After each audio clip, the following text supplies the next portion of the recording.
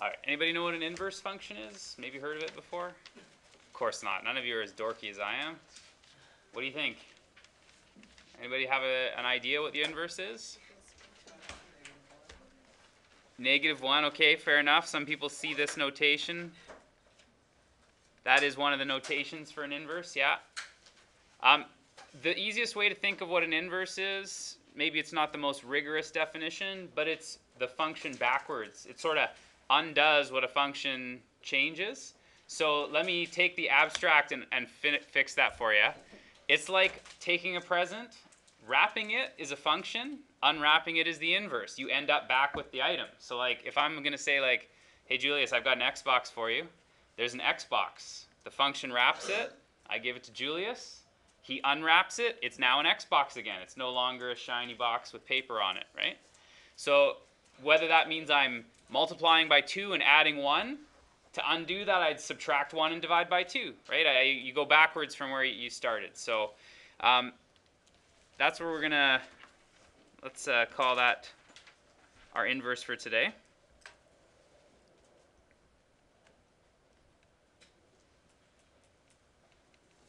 And I'm going to put this in quotes.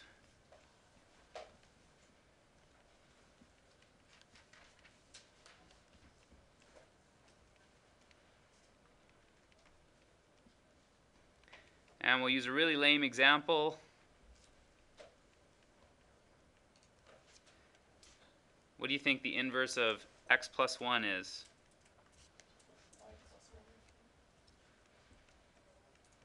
Well, someone said it, just didn't see who it was. Yeah. If x plus 1 is your function and you want to undo that, what you did was add 1, so to undo it, you'd subtract 1. Okay, we'll be more precise about it here. Uh, when you're solving algebraically for an inverse, the steps are pretty simple. Not always simple to find, but uh, fortunately for us, we're limited to very specific simple cases. So the steps are to switch x and y and solve for y.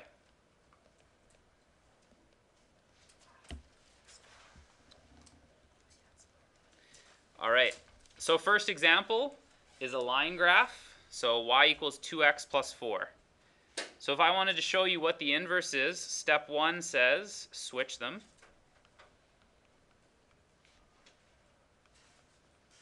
And step 2 is to solve that for y.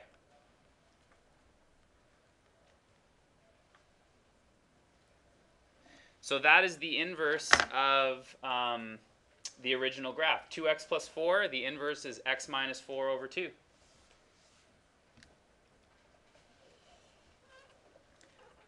And I'm going to illustrate something that's important that you guys need to know as well. You have to see there is a pattern here that's, that's important in transformations. So if you had a table of values, I'm going to build some of these things up.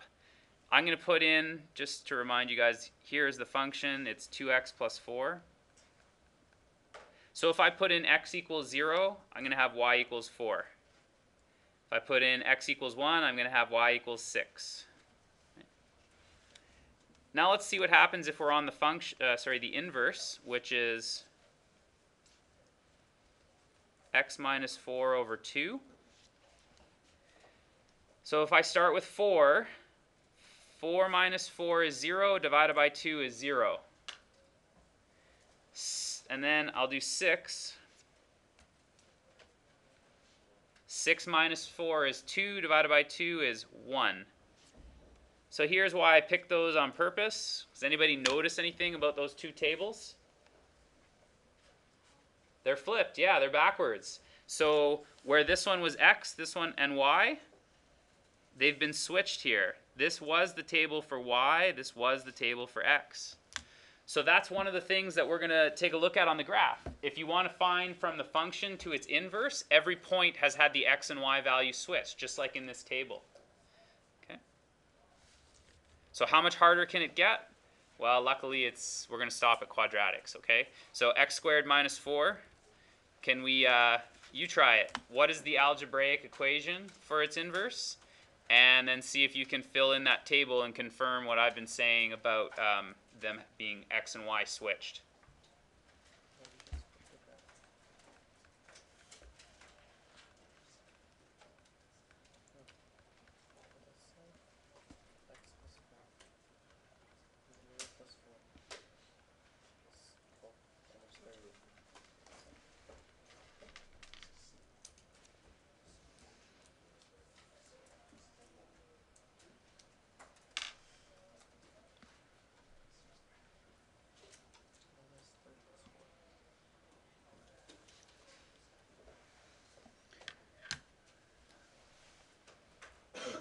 Okay, so here is my algebraic equation. It, is the square root of x plus 4. Good on you if you had plus and minus in there as well. Um, the table of values, if I plug them in for the function, I get 2, 0 and 1, negative 3. If I also try plugging them into the inverse, it works backwards. So actually, I want to show you um, a picture of this one. Actually, we might as well look at a picture of both, but the original one was y equals 2x plus 4. Its inverse was x minus 4 over 2. Okay, so there's the function and its inverse. For example, at this point, it's 0, 4. Over here, it's 4, 0. Everybody's been flipped around. Okay, now I'm going to show you the parabola because the parabola looks kind of interesting. Oops. It's minus 4, right? Okay. And then, um, what did we say here? y equals square root of x plus 4 and I also need to have the bottom one. There's no magic plus or minus button. But uh, there's the one when all the points in x and y are switched as well. So you kind of expect to see the same shape, right? Because you didn't distort the shape of it. You flipped all the points. So they kind of show up in the same place, but you know, it's it's just sort of crooked in our point of view here. So if this one's the function, this sort of sideways parabola, or sorry, the inverse, is that a function? No, it doesn't. It doesn't pass the vertical line test, right? You hit two points along the way when you go vertically. So how could we make this? Um, we do this thing, and we're going to do this in calculus when we get there. Um, we call it restricting the domain. For example, the reason why I end up with see these points. If I pick positive for y's, that means I'm going to have positive x's when I flip them, right? So if I wanted to show you just one of the branches, let me show you a picture and then we can talk about how it works. Um, oops. Sorry, bear with me here. Square minus 4 and...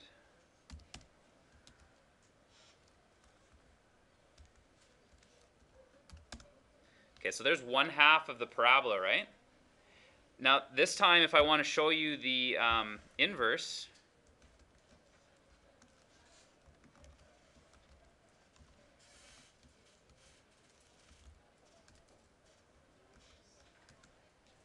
those ones are the inverses of each other, and those are just pieces of the graph, right? Like here it's negative 4, 0. Here it's uh, 0, negative 4.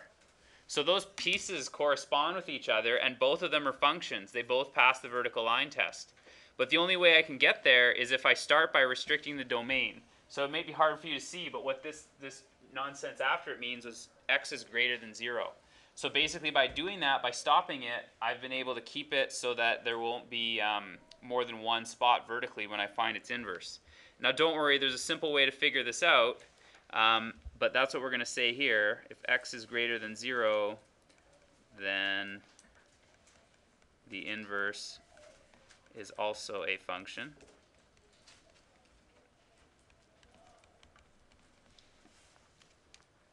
Okay.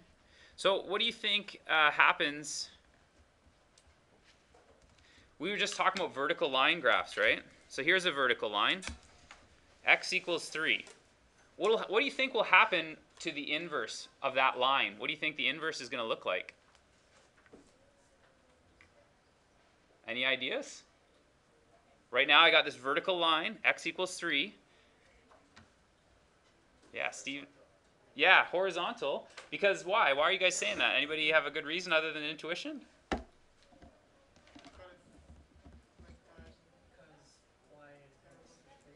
Yeah, one, one, one huge fact you got to know at this point, x and y are switched. So that's going to now become y equals 3. That's what its inverse would look like. x and y get switched. So x equals 3 becomes y equals 3. So the reason I'm telling you this is now we can figure out if this is a um, vertical line would become a horizontal line, we can use a horizontal line to figure out if it'll pass the vertical line test for an inverse.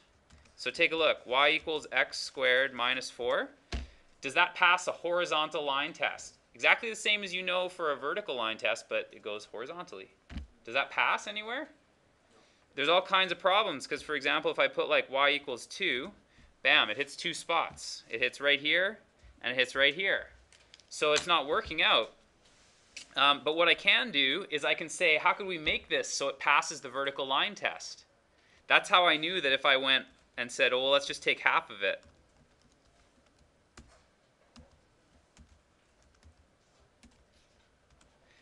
Does that pass the vertical line test? Or sorry, horizontal line test now?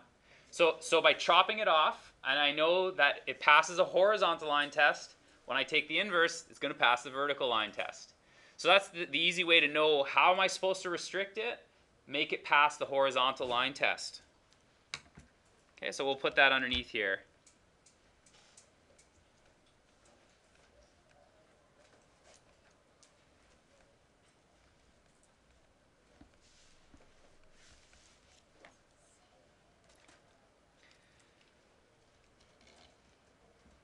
Okay, so I did want to just do a quick recap. If xy is on the graph, what point are you going to find on the inverse? yx, yeah, it goes backwards. Okay. Here are the notations that you will uh, run into. These are notations for the inverse. And be careful, this is a common mistake that students make. Don't, don't interpret that as an exponent. With functions, that means something very different. Okay, that means the inverse. 100% of the time, it will mean inverse, not, not this upside down like your calculator button has, the reciprocal. Okay? So 100% of the time. It'll never be a time when it's not that way. Um, but here's the other interesting thing. When we flip all those points, you might not have noticed it, but there's actually a mirror in here. So let me put up the original ones that we had. We had 2x, what was it, 2x plus 4? 2x plus 4 and y equals x minus 4 divided by 2. Anybody see a mirror there? Some people are really good spatially and they can see the mirror. It's not a straight mirror. Yeah, it's on a tilt. So if you can't see it, I'm going to draw it here. It's This is the line. It's mirror imaged through there, y equals x. So when we flip x and y, that makes a mirror along y equals x. So let me show you that parabola again. If I go y equals um, x squared minus 4, and I do it from 0 on. And I'm going to put out the line y equals x, and I'm going to put out its inverse. Oops, sorry. That's not its inverse.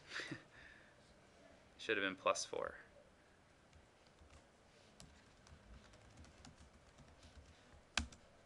There. Again, the inverse graph, it's a mirror, right? So the change this time is it's like a reflection, and this used to be taught in Math 12 with your reflections unit, because it was real nice and simple. X, Y, and then the line Y equals X. I'm not sure why they changed it, but they did. So this is, um, for an inverse, we're going to just record that we also will see it, a reflection, oops, reflecting the line about the line y equals x. So visually, if you're good that way, some of you will be able to do inverses a little quicker. If not, the only time that that's really uh, super handy, if you see a bunch of graphs and you're trying to pick out which one is the inverse, that's the pattern you're looking for, is the mirror along y equals x. All right. So let's actually make an inverse graph here. Now, this is so, it's so nice and clean, it's so nice and simple. There's not even any math, really. We could probably teach this, could probably move this to like grade three's curriculum. Because what's the only thing I'm going to do to these points? Switch x and y, just turn them around. So to start with here, just to make sure we're on the right track, this is at negative 3, and I'm down 3.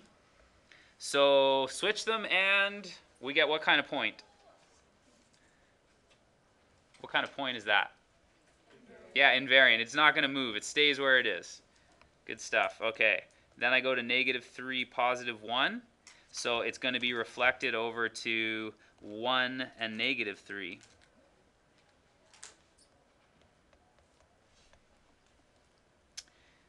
Okay, and let's see here. So if I go quickly, maybe you can race me. I'm sure you'll be quicker.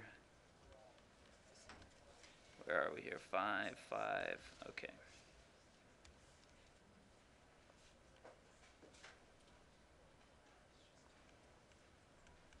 So now I've plotted all the points of the inverse graph. So to draw it, sometimes it's helpful for people, you know, because it's sort of funny to connect these dots, it is helpful to kind of just put a little dashed line in your work to remind yourself that you want to see a reflection. If you've done this right, it should reflect, like bounce off of a mirror on that line. So here's what it would look like.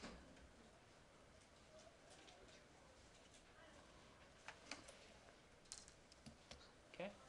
So the blue graph is the inverse graph, and it is a mirror of the black graph that it started with.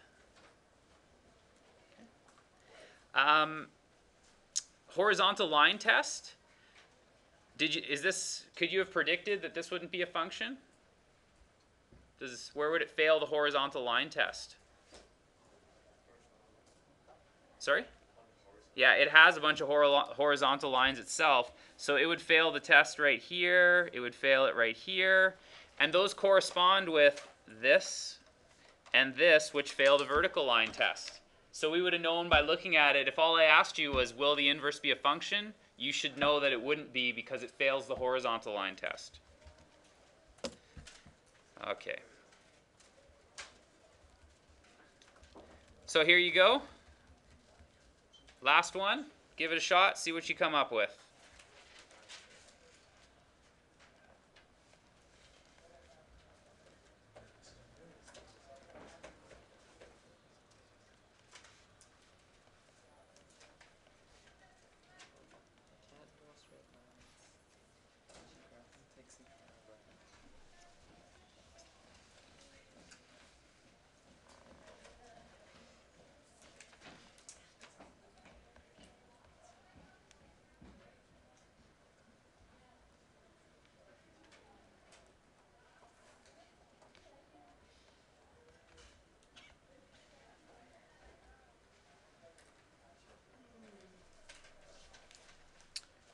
Okay, and then five zero.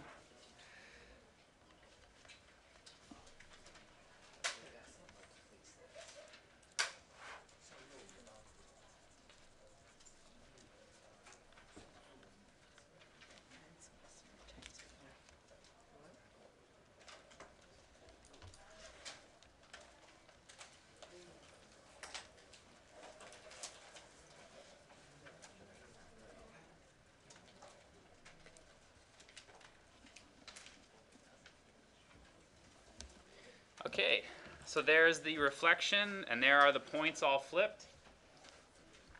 So uh, blue graph should be the one you end up with.